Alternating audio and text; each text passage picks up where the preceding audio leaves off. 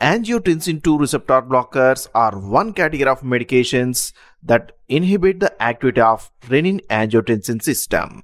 They are commonly known as ARBs and these medications can be identified by their suffix sartan. What is this suffix sartan indicates? Here S indicates selective, A indicates angiotensin 2, RT indicates receptor and AN indicates antagonist. So sartans are selective angiotensin 2 receptor antagonists. They can also be called as blockers as they are going to block the actions of angiotensin 2. Therefore, you can identify all of the ARBs are ending with the suffix sartan.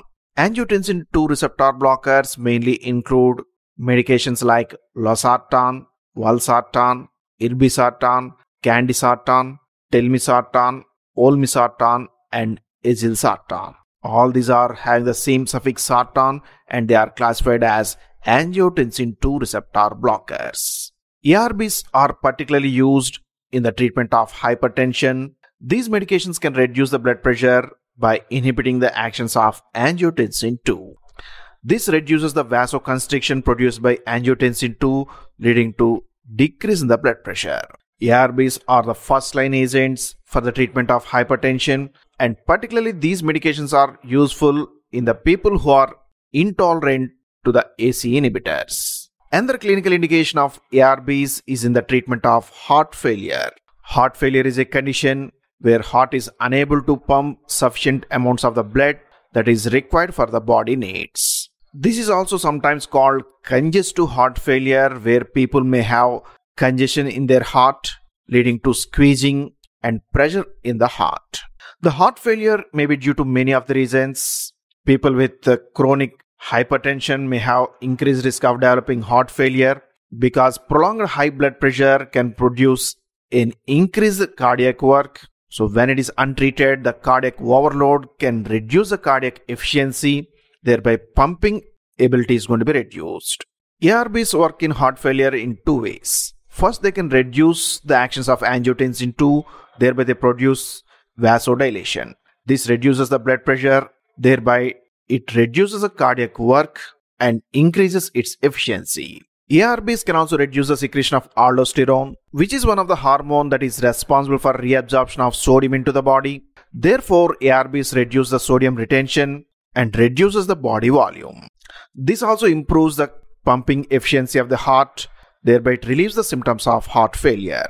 ARBs can also be used in the treatment of chronic kidney disease which is commonly called as CKD. It is one of the progressive condition where kidneys are unable to filter properly, leading to more accumulation of waste and excess body fluids in the body. This may result in the buildup of toxins that can produce few of the serious complications.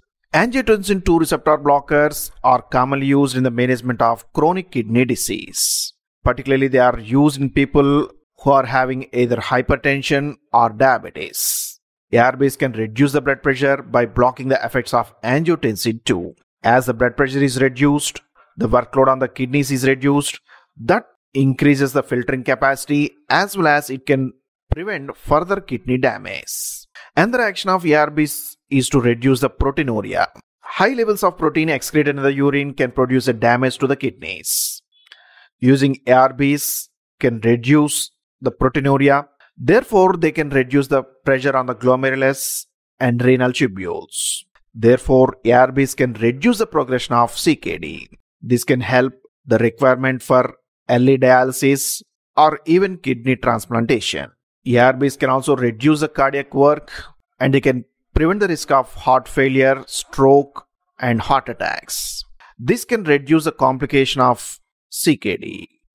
Another use of ARBs in the treatment of myocardial infarction and prevention of the stroke.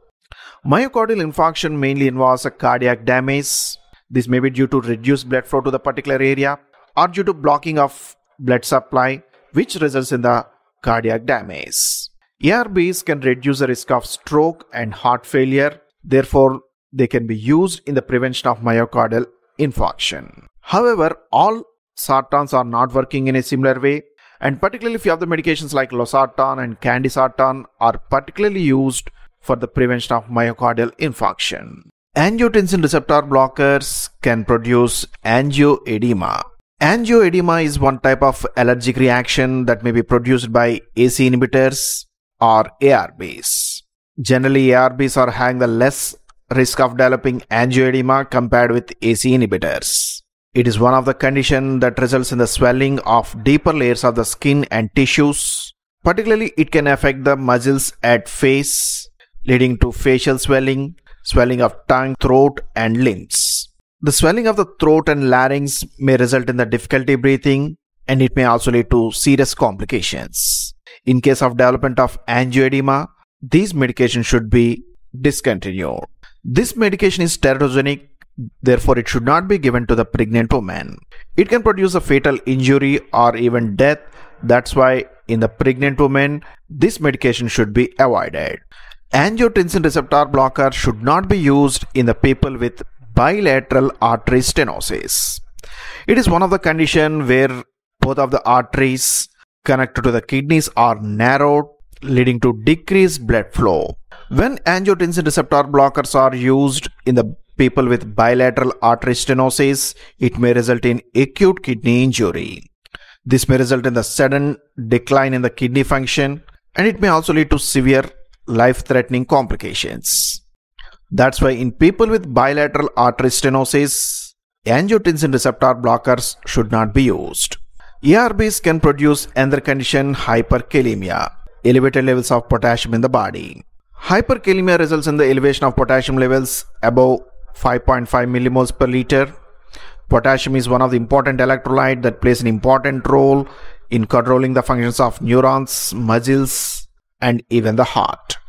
When its levels are going to be elevated, it may produce some impairment in these functions.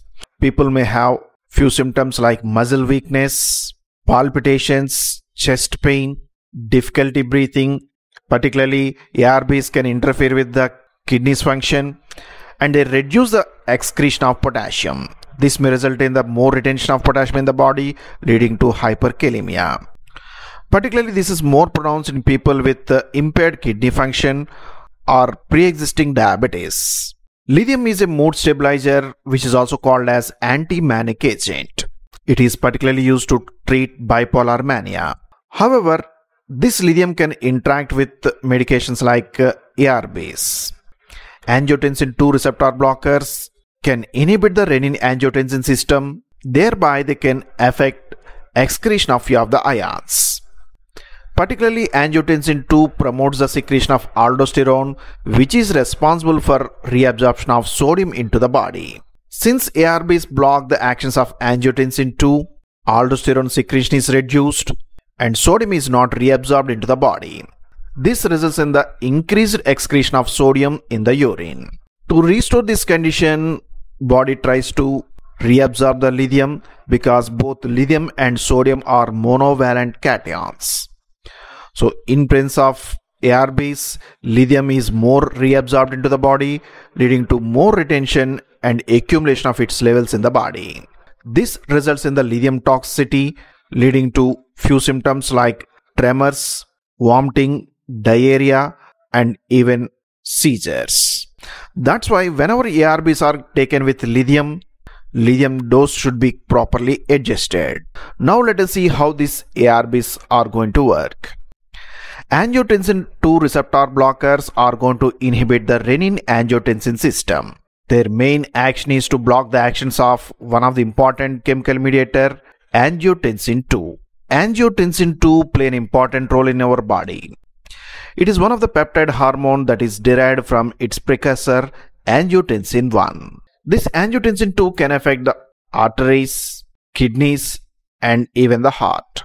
It mainly produces three types of actions. One of its main action is on the arteries where it produces vasoconstriction.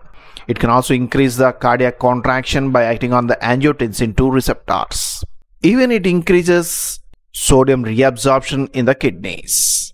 Finally, angiotensin 2 is responsible for hypertrophy and hyperplasia. That means it also produces cellular proliferation leading to enlargement of renal tissues. ARBs are selectively blocking the angiotensin 2 receptor type 1. This is called AT1 receptor. Now ARBs can block these AT1 receptors, thereby they can prevent the actions of angiotensin 2. This results in the decrease in the blood pressure and reduce sodium reabsorption and water retention. Now let us the side effects of angiotensin 2 receptor blockers. ARBs mainly produces vasodilation, therefore they can produce few side effects that are related to dilation of blood vessels. Particularly, they can produce dizziness and lightheadedness. This is common with ARBs and it can be observed even with first dose of this treatment. They can also produce fatigue where people may feel tired. Headache is another common side effect. Even though rare, it can produce dry cough due to accumulation of bradykinin. However, this dry cough is more pronounced with ACE inhibitors. ARBs can also increase the potassium levels leading to hyperkalemia which may produce rapid heartbeats and muscle weakness. Few of the hypersensitive reactions like angioedema may also be possible leading to swelling of face, tongue and throat. However, this angioedema is less pronounced compared with ACE inhibitors. Hypotension is another important side effect that is more pronounced in people with volume depletion.